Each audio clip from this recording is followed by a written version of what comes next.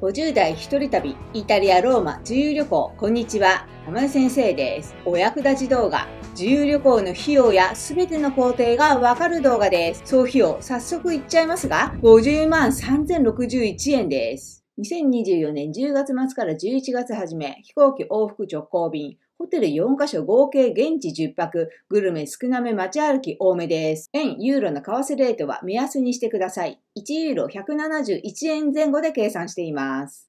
総費用50万の内訳はこちら。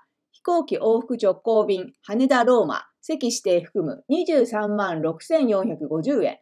ホテル4カ所合計10泊、地方税含む19万7827円。交通、空港からホテルの送迎を含みます。19,674円。観光有料が8カ所で15,644円。食費、カフェ2回、外食3回、スーパー買い物込みで25,805円。その他、トイレ、eSIM 海外保険料で7,661円。総費用50万3061円が全てかかったお金です。実際の旅行の様子を楽しみながら、左上に表示する費用を参考にしてください。往復の飛行機代と通路側の席指定代で23万6450円、片道だと約11万8000円でした。ネックピローが嬉しかったです。入国審査は非常にサクサクと進みました。ホテルに空港からの送迎を頼んでおり。Sorry, Okay, video okay? Thank you very much. 無事ドライバーさんと出会うことがあり、本当に心からほっとしました。空港からホテル最寄りのテルミニ駅の直通電車はあり、それは約32分で14ユーロと安いのですが、確実で効率ということで1万円以上払って選びました。ホテルは事前予約で1泊2万6千円、テルミニ駅からすぐです。広くて清潔でしたが、なんというか殺風景でした。水の日本は無料です。クローゼットの中には使いませんでしたが金庫がありました。眺望はほぼなしです。バスとトイレも広くとても使い勝手が良かったです。が、アメニティはほぼなしです。タオルがとてもたくさんありました。初日のホテルは正直ちょっと高いなと思ったのですが、利便性も良く、実際にちょこちょこ観光もでき、ゆっくり休むことができて、選択肢としては良かったと思っています。ホテルの入り口、これちょっとわかりづらいんですよね。ホテルに泊まるとシティタックス地方税がかかり、6ユーロ1021円でした。手始めにテルミネ駅から歩いて行ける範囲で観光。ラテン語があちこちにありました。トレビの泉朝7時の様子です。残念ながら工事中で水は張ってありませんでした。そんな中でも警察官の方がしっかりと監視。教会はあちこちにあって無料で入ることができます。朝ごはんをスーパーで購入。水、ヨーグルト、惣菜パン、野菜で5.8ユーロ、約990円でした。ローマ在住の知り合いと一緒にスーパーに行った時の様子です。ぶどうの量り売りに挑戦。こちらの番号を機械に打ち込みます。そうするとレシートが出てきて商品に貼ってレジに持っていくというスタイルです。このやり方がわかると、フレッシュな野菜や果物を旅行中に手に入れることができちゃうんですね。実はありがたいことに、ローマ在住の方のお宅にお邪魔してランチをいただくことになっています。一緒に買い物をしているところです。現地の方がいらっしゃるとこの量り売りができるっていうのが本当に素晴らしいんですね。お肉は2種類、ブレザオラと生ハム。そして羊のリコッタ、モッツァレラ、オリーブ、ドライトマト、ルッコラです。手作りのスパゲティとワインをいただき乾杯です。次のホテルはコロッセオから歩いて3分ほどのグッドなロケーション。3泊で75,634円でした。地方税は1泊5ユーロ ×3 泊15ユーロ合計2565円です。ポットコーヒー類だけでなくスパークリングワインのプレゼントもありました。クローゼットには映っていませんが金庫があります。いつも使っていません。バスとトイレはこのような感じです。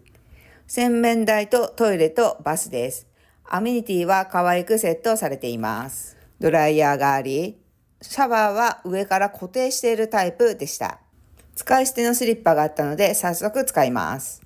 スドマルで1泊2万5千円は高いかもですが、もはやローマ値段です。50代一人旅はとにかく利便性が大切。休憩のために気軽にホテルに戻れるとすごく楽ちんです。いよいよ来ましたコロッセオ。8時に来ましたが、30分ほど並んで8時半の会に入りました。チケット、パスポート、荷物検査が終わって中に入ることができます。コロッセオは事前予約が必須です。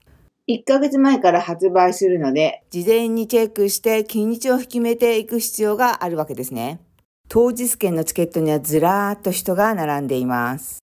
同じチケットで入れるフォロロマーノとパラティーノの丘に移動。広大な敷地に遺跡が点在しています。浜根先生はコロッセオの見学時間は1時間、フロロマーノとパラティーノの丘には3時間、合計4時間かけました。丘ですので結構登りがありますが、頑張って登ると素敵な景色に出会います。運動靴、帽子、水、捕食などしっかり用意していくことを強くお勧めします。ローマに来たことをしっかり実感できる場所です。ローマは街を歩いているだけでも見どころがたくさんあります。予定していないところでも足を伸ばしてみるとこんなに素敵な景色が広がっています。ローマの街を眺めるということにすごく満足感を感じました。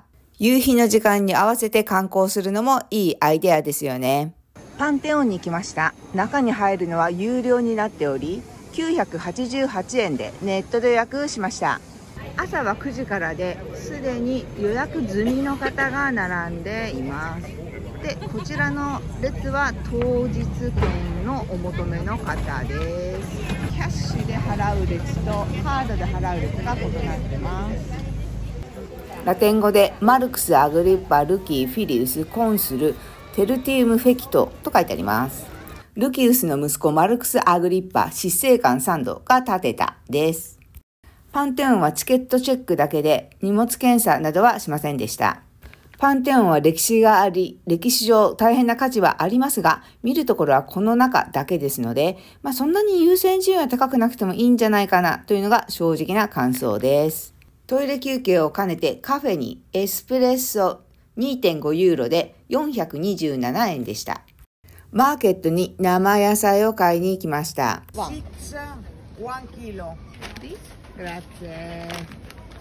レタス1ユーロ171円でした。パンテオンの観光の後は、周りの無料スポットを回りました。建物が大きくスケールが違います。特に教会の天井絵はあちこちで見ることができ素晴らしかったです。午後はエリアを移動、有名なカラカラ浴場には入らず、城壁博物館に行きました。観光の中心から30分ぐらい歩き大変疲れましたが、無料で穴場的な存在です。ちなみにローマの交通量は場所によってはカオス。バスやタクシーは当てにならないところもあるかもです。ループのような乗り物を使いこなしている人もいます。旅行5日目、ホテルをチェックアウトして次に向かいます。5日目にして初めて公共施設、地下鉄に乗るのでちょっとドキドキ。現金やカードで切符を買うことももちろんできるのですが、タッチ決済で地下鉄やバスなど入ることもできるんですね。クレジットカードをタップするだけなので本当に楽ちんです。1.5ユーロカード決済で250円でした。テルミニ駅に向かいます。旅行の下調べで一番気にしていたのが地下鉄や駅などのすり対策。ホームや車内は混んでないところからということで句を配っています。テルミニ駅に着きました。朝8時ちょっと前なのですが、やっぱり混んでいますね。ローマの地下鉄は A 線、B 線がメインでとてもわかりやすいです。出るときは特に何もしないで OK。テルミニ駅は多くの警察官の方が見回りをして安心感があります。さて、これから鉄道に乗ってオルビエートという街に移動。ローマから1時間半ぐらいの小旅行です。掲示板を見て列車が出るプラットフォームを確認します。人がごった返しているのは、プラットフォームの番号がなかなかわからないからだと思います。駅のトイレもカード決済、1ユーロ167円でした。ローマ、オルビエート往復のチケットはすでに日本でネットから購入済み。QR コードをタップすれば入れます。スマホの QR コードをタップすればもちろん OK なのですが、スマホを YouTube 用に撮影で使っているので、紙に出力して準備しました。乗る列車のプラットフォームが思いのほか遠かったのでびっくりです。急いで乗るときなどスーツケースだとちょっと危ないかもしれません。行き先はしっかり確認。イタリア語のアナウンスはほぼ理解できません。自由席を取ったので好きなところを探します。イタリアの列車はよく遅れるということでしたが、ほぼ帝国に出発。ヨーロッパの方って体が大きいですよね。ツアー旅行と違って個人旅行は列車を組み込むことができること。ヨーロッパの風景大好きなんですよね。無事オルビエートに到着し、鉄道のチケットをケーブルカーのチケットに取り替えてもらいました。このことはネットで調べてもどうもよくわからなかったので、窓口の人に聞いてよかったです。数分ではありますが、ケーブルカーに乗って街へ向かいます。有料トイレ0.5ユーロで85円です。トイレ探すの結構大変です。気を取り直してホテルに移動、徒歩で15分ぐらいかかりました。ベルで呼ぶスタイルです。チェックインの時間前だったので荷物を預けて街歩きをします。街角で音楽を弾いている方もいましたね。大聖堂に入るためにチケットを購入。5ユーロ855円です。中は一部が工事中でした。ローマから離れてちょっとほっとしたので夜ご飯を予約。今日はやってないってことなので明日の夜に行きます。楽しみです。さて、ホテルに戻り無事チェックイン、お部屋を見てみましょう。昔ながらの鍵です。ホテルは2泊で3万1070円。1泊約1万5000円ですね。地方税は4.4ユーロで752円です。内鍵も鍵で閉めるタイプ。見ての通り清潔でとても良いホテルなのですが、ホテルの外に出る玄関が少し難しかったです。ここをして、ここをして、ここは引くと英語で説明してもらったのですが、ちょっと自信がなかったので一緒にやってもらいました。一人旅は何でもすぐ聞くがモットーです。窓から眺望をちょっぴり楽しめます。夕日の時間にお散歩。のどかな風景が広がっています。ちょうどハロウィンだったので、街には仮装したお子さんたちがたくさんいて、本当にお店ごとに回ってお菓子をもらっていました。夜なので保護者付きでゾロゾロと歩いています。大聖堂近くで軽く夕食。思えば初めてお店で食べます。50代ともなると年々食欲が減っているんですよね。10ユーロの惣菜パンと8ユーロのビールを頼みました。テラスで大聖堂を見ながらいただいていて寒いです。パンとビールで18ユーロ、日本円で2999円でした。なかなかのお値段なので、今回の旅は特にスーパーで買ってホテルで食べることが多いですね。体調予算と相談して外食を組み込みます。旅行6日目、初めて朝食付きでした。修道院が運営するホテルということでシスターがサーブをしてくださいます。種類は少なめですが、入れたてのコーヒーが嬉しかったです。食堂の窓からの景色がすでに最高です。オルベート2日目の観光、まずは2つの井戸に行きます。二つ目の井戸は、一つ目の井戸のチケットを見せると割引をしてくれるスタイル。二つ合計で7.5ユーロ、1282円です。こちらの方が有名で、聖パトリックの井戸。上から下を見たところ、下から上を見たところ、螺旋階段になっていて、上りと下りが交わらないというのが面白い構造になっていました。ローマもですが、無料の水飲み場が結構あります。私は飲みませんでしたが、現地の方は結構飲まれてました。次は街の象徴の塔に登ります。3.8ユーロ、649円です。240段の階段を登ると、このようなパノラマが広がっています。中世の街並みがよくわかりますよね。ヨーロッパの自由旅行あるあるなのですが、登ったり降りたりすることがとても多いです。特に観光施設に行かなくても、暮らしている方の道路をただ歩くだけでも楽しめます。看板が何一つないドアを開けてみると、中は教会で結構人がいたということもあります。今から予約したディナーに向かいます。7時の予約です。隣の部屋の音がすごい漏れてんですよね。まあ、しょうがないですよね。シスターたちが礼拝堂にいらっしゃいましたね。ローマではなくオルビエートという町にいるのでそんなに危ないという感じはしません。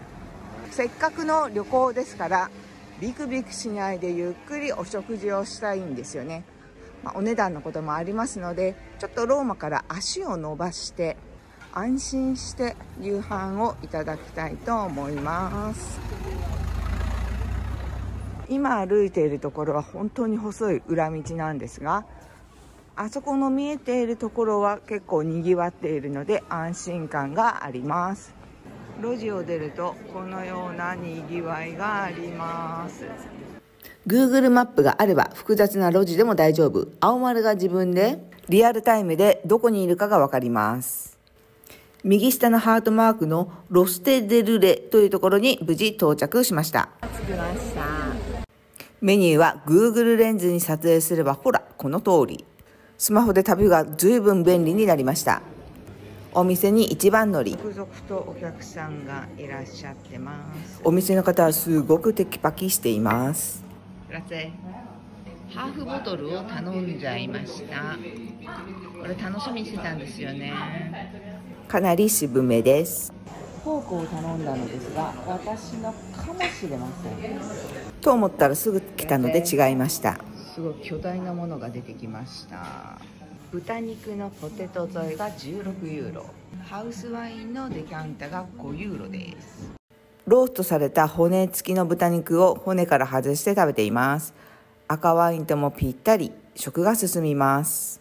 出来たての料理やっぱり美味しいです。ディナーは7時からで今7時半過ぎてますがまだ席が埋まっていません。イタリアの夜は結構遅いんでしょうね。ごちそうさまでした。ということでお会計。コペルトって何ですかね？What is コペルト Is the um, サービス OK コペルトとはサービス料のことでした。1.5ユーロで256円。クレジットカードがあればほぼ旅行はできると思います。イタリアに来て7日目。地方都市オルビエートからローマに戻り、バチカンにいよいよ入ります。すべての荷物を持ってチェックアウト。ここに鍵をかけてチェックアウト完了です。グラフェチャオと挨拶をして、ローマに向かいます。広場でマルシェが開かれています。これ毎日ではなく、昨日はやってなかったんですよね。またケーブルカーに乗って駅に向かいますオルビエートの鉄道の駅に着きました11時20分発テルミニ駅に乗ります列車に乗る前にトイレに行きます1ユーロ171円です。10分遅れで列車が来ました。ついてそう。よかった。行きの列車でご説明しましたがお金は3628円。片道で約1800円です。なかなか窮屈そうですよね。テルミネ駅で地下鉄に乗り換えます。ちなみに鉄道は犬はそのまま乗ることができるようでした。先日地下鉄に来た時はここが閉まってました。どうやらストだったようなのですが今日は大丈夫です。切符売り場並んでます。沿線の行き先がバティスティーノの方に乗ります。今日のホテルに向かっています。地下鉄1.5ユーロ256円です。タッチ決済しました。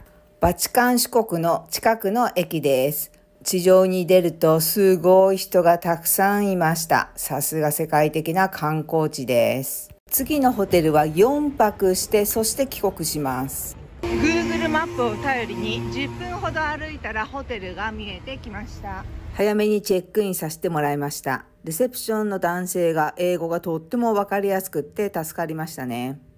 部屋は今までで一番狭めですが特に問題なく設備も整っていますどのホテルも歯ブラシというのはついていませんこちらドライヤークローゼットがあって、バラバラなハンガーがあります。多分使わないけど金庫。眺望はありませんが風が入って気持ちいいです。トイレとシャワー室。ロケーション重視で選んだので満足です。宿泊代と朝ごはんと地方税込みで6778円。一泊約1万5000円です。地方税はキャッシュでしか受け取らないということが要注意でしたね。旅行8日目、バチカン四国近くのホテルです。ホテルは朝食付きですが、パンやヨーグルト、ドリンク、コーンフレーク、ジュース、フルーツといったところ。今、ローマはあちこち工事をしています。2025年の青年に向けてだそうです。特にバチカン四国近くは大規模な工事中です。地下鉄に乗って今日は美術館を見に行きます。1.5ユーロ250円です。あと1分後に来ます。空いてそうなところに移動。テルニニ駅で乗り換えます。今日は日曜日午前中なんですが、空いてるのかもしれません。再び地下鉄のコロッセオ駅に来ました。ここから歩いてカピトリーニ美術館に行きます先日実は行こうと思ったんですけども Google マップを使っても場所がどうしてもわからないので諦めたという経緯があります。フォロロマーノが見えます。この通りは何回歩いても本当に素敵です。今8時半過ぎですが早くも行列です。これはおそらくフォロロマーノですね。11月の初めなんですけどもこれが真夏だったらもうちょっと並ぶのしんどすぎると思います。カピトリーニ美術館に来ました。広場になっておりこちらにもつながっています。30分ぐらい並ばなくちゃいけないですね。これはちょっと辛いかも。今日はどうやら無料の日でチケットが配られました。有名なブロンズ像。ローマ建国の祖、ロムルスとその双子の弟レームスが狼の乳を飲んでいるというもの。カピトリーニ美術館は絵画あり、彫刻あり、石碑ありと盛りだくさんですが、それだけでなく室内の壁に映し出すプロジェクトマッピングのようなものもありました。建物の中に案内はありますが大変に複雑なので、日本語のガイドブックを持っていくことをお勧めします。ホロロマーノを近くで眺めることのできるスポットもあります。疲れたのでカフェで一休み。先にオーダーをして支払いをしてこちらで受け取るという仕組みです。あその前に席も取るように言われました。フルーツ5ユーロコーヒー1.5ユーロ合計6.50ユーロ1080円です。フルーツにはスイカやメロンが入っています。鳩が堂々入ってきて追いやられていましたカピトリーニ美術館は本来は15ユーロ2565円です。テラスからの眺めもいいですし、カフェもあるのでおすすめの美術館。またコロッセオに戻ってきました。地下鉄は1回券1.5ユーロ約250円です。たくさん乗る方は1日券やローマパスなどもあります。スーパーで買い物をしてからホテルに帰ります。This one? One tomatoes. Yes, and? For forte vegetarian. Okay. One. すごいたどたどしいオーダーでも対応してくれるのが嬉しいところです。今日はホテルで飲みたいと思います。ビールは瓶なのでちょっと栓抜きないですから缶あんまり種類がないんですよね。こちらビールだと思います。飴系を一つ買ってきます。こっちにします。10.85ユーロ1803円です。ホテルで一休みしたら夕方の散歩に出ました。サンタンジェロ城です。上に登っている方もいらっしゃいますね。今日はサンタンジェロ城も無料ですが行列が長いので周りから見るにとどめることにしときます。そに続く橋は残念ながら工事中です。素敵な彫刻があるのですがよくまあ見えません。ミサンガを腕に巻きつけられていますが大丈夫なんでしょうか。少し離れた橋の上から見るとお城がよく見えます。今日も無事終わって乾杯です。イタリア自由旅行9日目。ホテルで簡単な朝食をいただきます。ホテルを7時半に出てバチカン四国に向かいます。今日はこの旅のメインのバチカン美術館バチカン博物館に行きます。朝日が出てきてますね。なんでこんなに並んでいるかというともちろんバチカン美術館の素晴らしさでもありますがネット予約の争奪戦というのもあると思います私はバチカン美術館とコロッセオだけ事前に日本でネット予約をしました。着いてからでは多分無理ですね。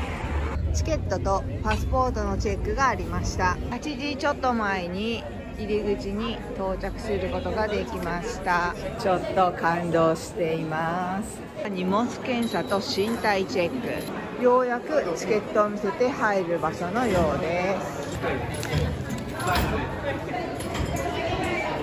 大変に美術館が広いのでネットでいろいろ情報を収集しておきました。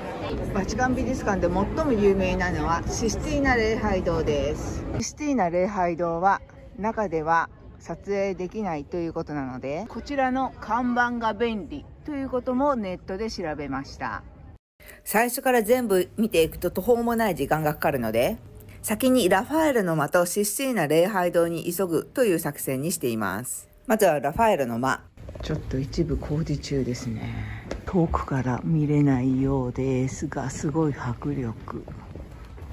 神殿から追放されるヘリオドロス。有名なアテネの学童。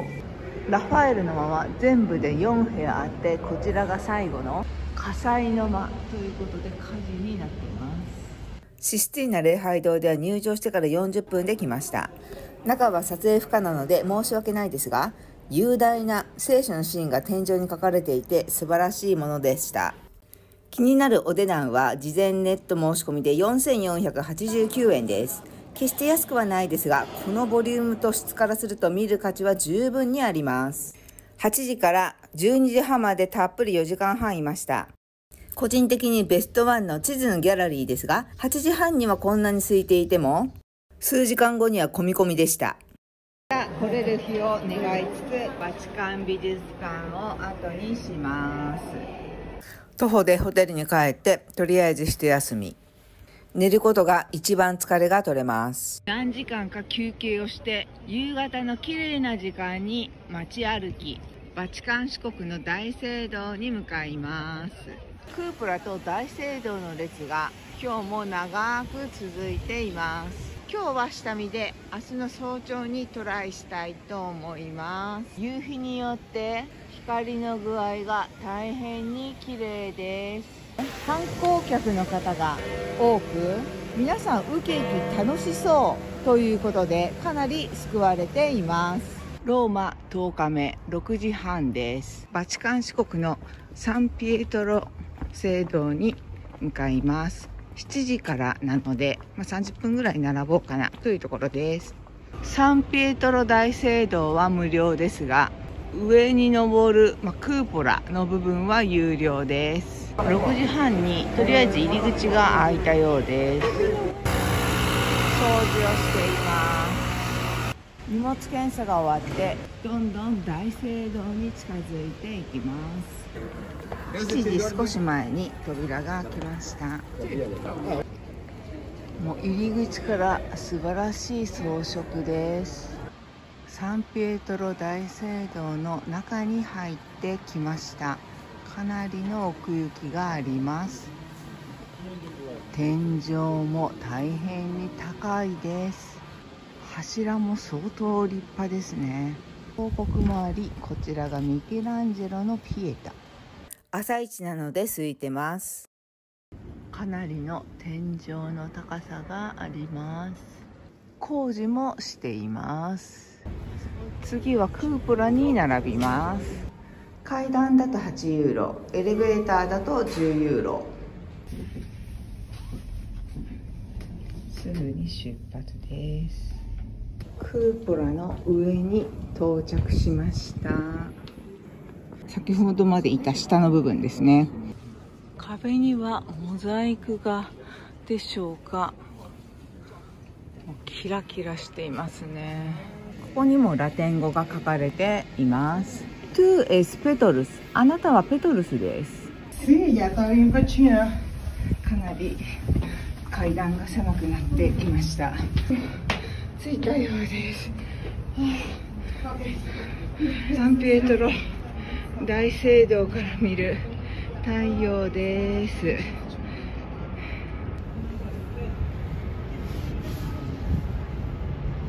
こんな素敵な景色が見れて最高ですね。クーポラからエレベーターで降りるともう一度大聖堂を見ることができます。スイスの方が守っているそうです。それでは大聖堂を後にして一旦ホテルに戻ってお茶などしようと思います。地下鉄に乗って2駅移動して1.5ユーロです。観光最終日の街歩きを楽しみます。まもなくスペイン広場です。近くは高級店が立ち並ぶ、まあ、狭い路地です。スペイン広場ローマの休日という映画で有名ですよねローマの休日ではなく今日はローマの平日ではあります。ちょっとトイレを探しガレリアに来ました。トイレは有料で1ユーロコインの無料です。美術館に来ました。16ユーロ2736円です。美術館はドーリア・パンフィーリ宮殿といい中庭や建物がとても素敵なところです。チケットもいいですね。はい英語のオーディエンス聞いてます。再びトレビの泉近くにやってきました。前回は早朝だったのですが今は午後の2時なので大にぎわいです。トルビの泉工事中なので水も入っていませんし近づくこともできません。またぜひ行きたいスポットですね。あそれにしてもすごい人です。地下鉄1.5ユーロ最後の夜なのでご飯を食べに行きます。お店の当てはないのですがとりあえずにぎわっているところに向かってます。スリよりも交通事故が危ないのではないかというぐらいの感じです。結構信号のないところでも平気で渡ります。サンタンジェロ城の夜景です。橋の彫刻もライトアップされてます。こちらのお店にしました。お腹空いてないのでスープにします。グラゼ I love you と言って豆のスープズッパが運ばれてきました。グラスワインが6ユーロ、スープが8ユーロ、サービス料1ユーロで15ユーロ2488円でした。温かいスープとカリッとしたパン、体が温まったところにワインを流し込む。優しい味がして体が温まりますね。今回の自由旅行は外食は本当に少なめ。朝早くから活動するというスタイルでした。イルコントペルファボーレ。です会計お願いしますが通じました。10泊中最高4連泊をしたホテルですがバチカン四国や人気のスポットなどにも近くってとっても便利でした。実際にホテルって来てみないとわからないことだらけではありますがレセプションの雰囲気も良かったですね皆さん動画楽しんでますか？旅行も間もなく終わるのでこれ知っとくとお得だよと思ったことを3つお伝えします1お金の持ち方2スマホの SIM について3、傾向を使った Google 翻訳。1つ目のお金の持ち方です。皆さん気になりますよね。浜根先生が旅行したローマはユーロで、現金とクレジットカード2枚持っていきました。カードはビザとマスター。どちらも事前にカード会社に電話して、この期間にイタリアに行ってカードを使いますが不正ではありません。ということを連絡しています。急に使えなくなるってことがないようにするわけですね。現金は羽田空港で150ユーロをゲット。25,675円でした。まあ、ほとんどカードがあれば OK なんですが、現金を使ったシーンは、ホテルによっては地方税は現金じゃないとダメだったっていうところと、街中のトイレは1ユーロのコインじゃないとダメだったということがありました。あと、クレジットカードの機械が壊れて急遽、現金で払うというシーンもありました。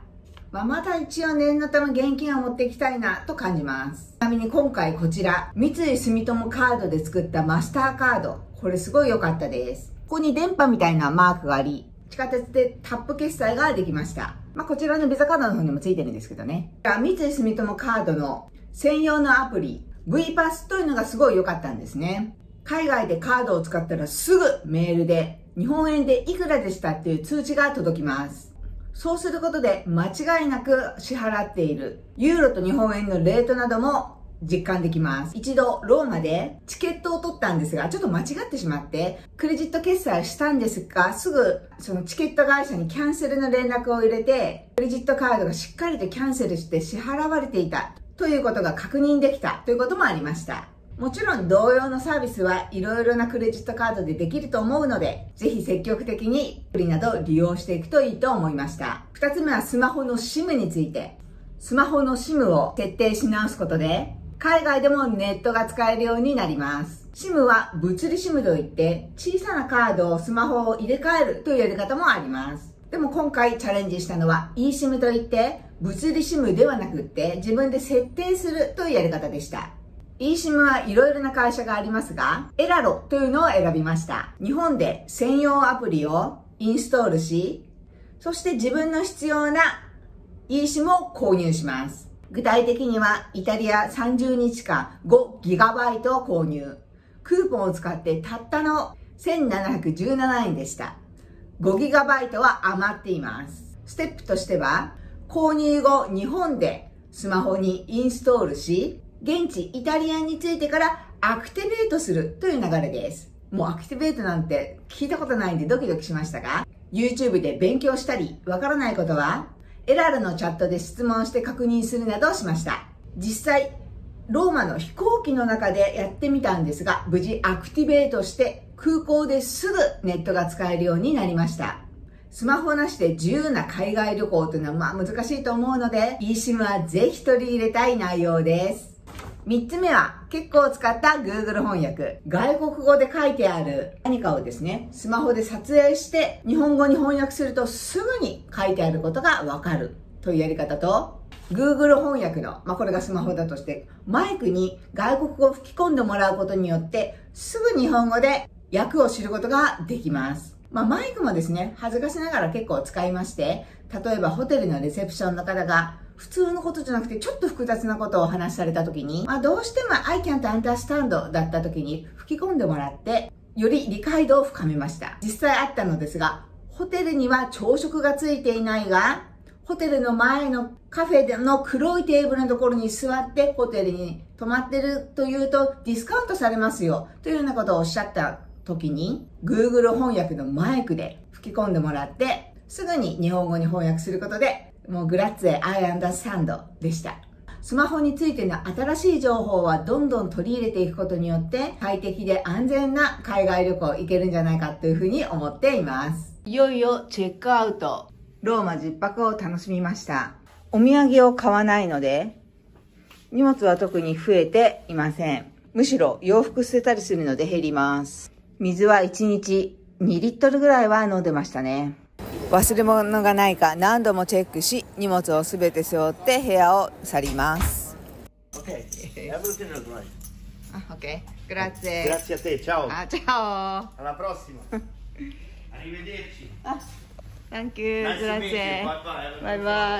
という。豊かなお言葉をいただきホテルを後にします。ローマ10泊しましたがもう毎日本当にいい天気で素晴らしい旅行となりました。自由旅行してみたいという方は語学が不安かもしれません。浜根先生はイタリア語は全く喋れませんし英語も、まあ、なんとなく分かる程度でやり過ごしています。観光地に行けば彼が何を質問しているのかってことが分かっていますのでジェスターだけでもいけると思います。不安な方は Google 翻訳などを駆使したり事前に紙に書いて準備しましょう。そうすることによって自由旅行というのは、まあ、可能になるわけですね。多少の努力とチャレンジ精神があればどなたでもこのぐらいの海外旅行はできると思われます。ローマの公共施設はストが多いと聞いていました。実際にいた私がいた時に1回そして数日後にも地下鉄のストがすでに予定されているのでこちらも旅行においては博打的ですね。テルミニ駅に着きました。地下鉄1.5ユーロです。これから列車でローマの空港に向かいます。レオナルドエクスプレスというもので約30分ぐらいで着くんですが14ユーロ2326円です。ネットで買えない方は切符をマシンやこちらの窓口、まあ、結構並んでるんですがで買わなくてはいけません。多分こちらの方々ここでスマホでネットで切符を取っていると思われます。駅のトイレ1ユーロ171円です。レオナルドエクスプレスです。車内はこんな感じ。荷物置き場です。まあ誰もチェーンなどつけていませんね。ローマの空港の名前。フィウチミーノ空港と言います。レオナルドエクスプレスはノンストップの列車でこの他にもバスやタクシーなどを使って移動することができます。今回は初日はローマに夜の8時半ぐらいに着くということだったのでホテルに送迎を頼みました。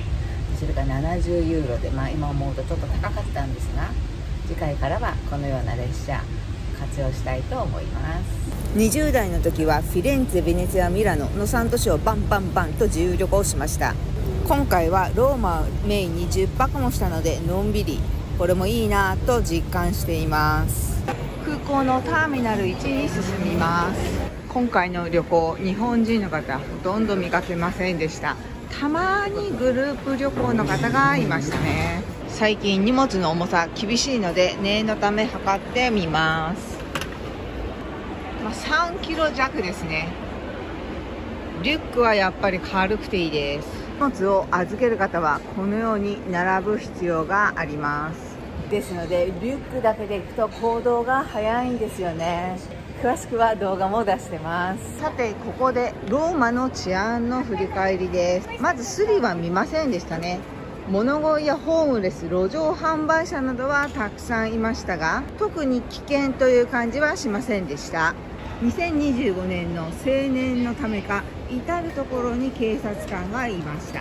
すられないためというよりは置き忘れたり落としたりしないようにスマホにはこのようなストラップをつけていったこと。これすごく良かったです。また抱えているリュックからお財布を出す時にはここも落とさないように紐でくっつけておいたのもすごい安心感がありました。荷物検査が終わったのでパスポートコントロールに向かいます。飛行機は15時5分発なのでまあ3時間ぐらいずいぶんあります。混んでると嫌だなと思ったんですがスムーズで良かったです。YouTube の編集などして過ごします。水1.8ユーロもう空港値段ですね。旅行で支払ったレシートの山。動画で紹介したもの以外の主にスーパーで買ったものを合計します。68.27ユーロ。およそ1万1674円でした。スーパーでの買い物やカフェ、外食すべて含めて食費は2万5千円程度。1日あたり2500円と少なめだと思います。グルメを楽しみにしている方は、ローマ名物のパスタやピザ、ジェラートなどチャレンジするといいですね。往復の直行便と席指定で合計23万6450円という話はしました。利用したイタエアウェイズの良かったところは、乗務員の方がフレンドリー、ネックピローがついてくる。飛行機の一番後ろに自由に取れるドリンクや軽食のコーナーがある。ただしこれは最初の食事の後にセッティングでした。気になったところは、トイレがすぐに乱れていた。機内食が寂しい。トレイに乗った食事は1回だけでした。温かな飲み物がなかった。まあ、少なくとも、行きはちょっとわかんないんですけども、少なくとも帰りはありませんでした。このあたりは自分が払えるお金とグレードの問題なので願わくば良くなればいいなという話です。動画最後の最後に総費用の節約方法を解説します。今回の旅行の内訳です。ここで減らせるのは飛行機とホテルと交通です。赤字のところですが、飛行機往復は乗り継ぎ便にし、席指定をやめて約マイナス10万ぐらいはいけます。今回ホテルは1泊約2万だったのですが、1泊約1万5千円にすれば10泊分でマイナス5万円が可能です。初日の空港からホテルの送迎をやめて1万というのもいいでしょう。合計マイナス16万円になるので34万3061円になります。さらにさらに乗り継ぎ便にしたので観光できる時間が減ったり、そもそも観光はもっと詰め込める方はホテルを3泊減らして4万5千円節約するのもいいですね。そうすると30万円切ります。数字上嬉しいですが、乗り継ぎ便で無駄な時間が増える。ホテルが不便な場所になるなど大きなデメリットになるのでお気をつけて。浜根先生チャンネルでは普段は手書きの技やアイデアなどをお伝えしています。ぜひチャンネル登録をして人生100年時代を一緒に楽しんでいきましょう。いいになども励みになります。それではまたお目にかかりましょう。さようなら。